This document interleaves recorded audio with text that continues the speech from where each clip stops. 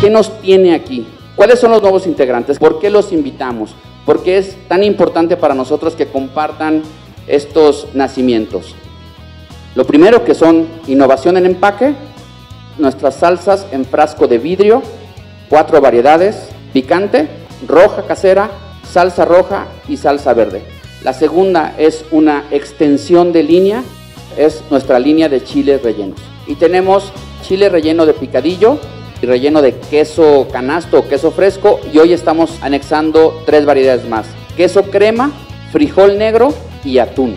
Y por último, innovación, que son salsas cremosas, tanto de chile chipotle como de chile jalapeño, que tienen una variedad de uso muy amplia.